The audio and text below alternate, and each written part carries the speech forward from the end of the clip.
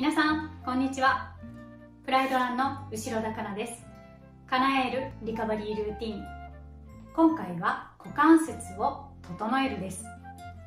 ほぐしたり伸ばしたりした股関節周りを整えていきます。では早速やってみましょう。今回ポールは足元にマットに対して斜めに置いていきます。仰向きになって足首のあたりにポールが来るように。体はまっすぐです。膝を曲げて緩める。小さい動きで構いません。何度かリズミカルに繰り返します。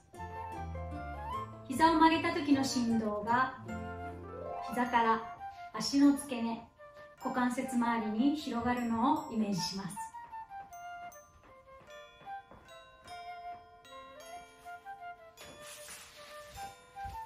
も同じようにやってみます。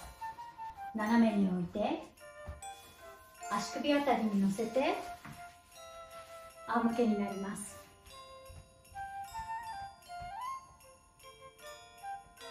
膝の曲げ伸ばしは大きな動きでなくて構いません。小さい振動でもしっかりと股関節周りに伝わります。